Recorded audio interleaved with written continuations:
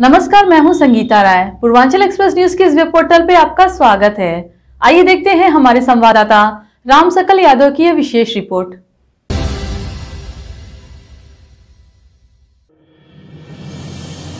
आजमगढ़ ज़िले के बिलरियागंज थाना क्षेत्र के बिंदवल गाँव में शुक्रवार की रात किशोरी की पोखरी में शव मिला। परिजन दुष्कर्म के बाद हत्या का आरोप लगा रहे हैं। घटना के बाद पोखरा का मालिक फरार चल रहा है।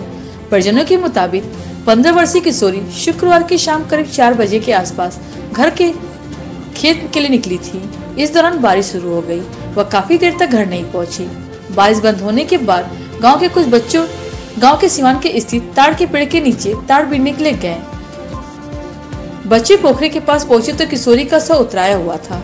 पोखरे में एक व्यक्ति मछली पालन किया करता था। घटना के बाद से वह फरार चल रहा है। शव मिलने की जानकारी होते ही गाँव के लोगों की भीड़ जुट गई।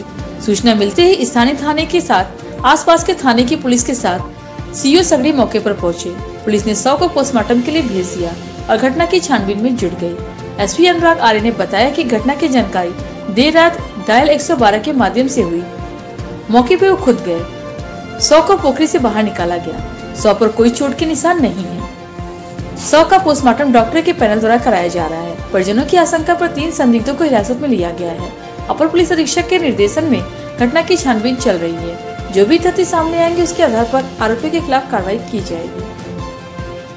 कल रात्रि नौ बजकर पचास मिनट पर डायल 112 पर थाना बिलरियागंज अंतर्गत बिंदवल गाँव में, पोखरे में गाँव के ही निवासी की 15 वर्षीय पुत्री की डेड बॉडी मिलने की सूचना प्राप्त हुई।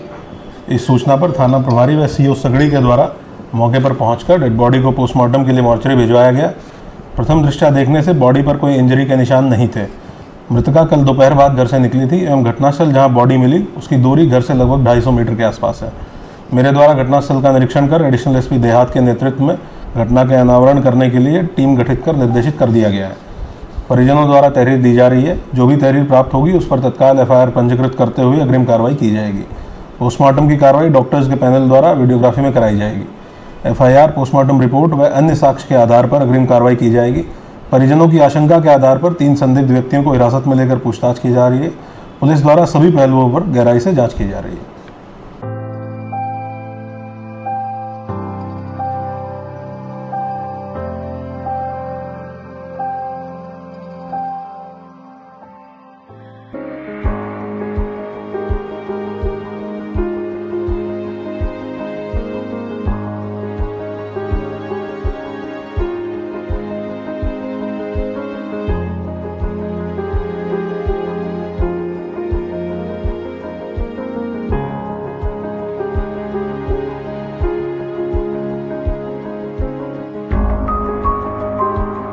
अगर आपको हमारी खबर पसंद आई हो तो हमारे चैनल को लाइक, सब्सक्राइब और शेयर ज़रूर करिए।